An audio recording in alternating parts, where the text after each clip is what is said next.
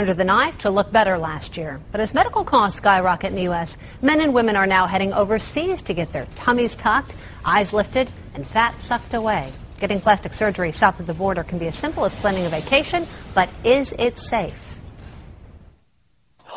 Oh, what a good yawn, yes. Ronnie Hakinen's puppies love her unconditionally. But for most of her life, Ronnie did not love herself, trapped in a body she loathed. She researched a tummy tuck in Miami. It was just too expensive. Couldn't do it. But when she looked outside the U.S., she was stunned. We went from 6500 to 3500 to get it done completely in Costa Rica with the lipo and the tummy tuck. More than a half million Americans are finding discount prices for cosmetic surgeries in other countries. On average, you'll pay 40% less. A lower neck lift in Costa Rica costs $3,000 compared to $7,000 in the U.S. A breast lift, $3,000 there, $8,000 here. In Mexico, a tummy tuck runs for $4,000. Here, $15,000.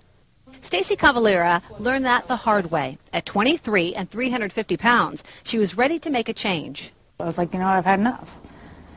You know, you don't want to be the, the fat girl forever. By sheer willpower and dieting, she shed 180 pounds in just 15 months. The cost to get excess skin removed, $75,000. She decided to go to Costa Rica for a total of 19,000. Getting sick or getting dying or anything like that never even entered my mind.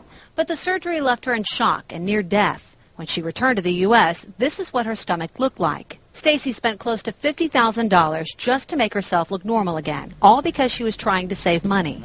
Price is not the main mediator of service anywhere, but especially in healthcare. But Ronnie is a believer. She says she looks and feels younger. This photo before the tummy tuck.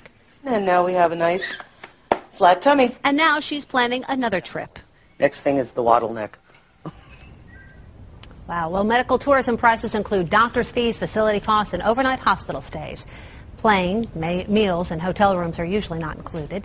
You can get more information. Just go to our website, newschannel5.com.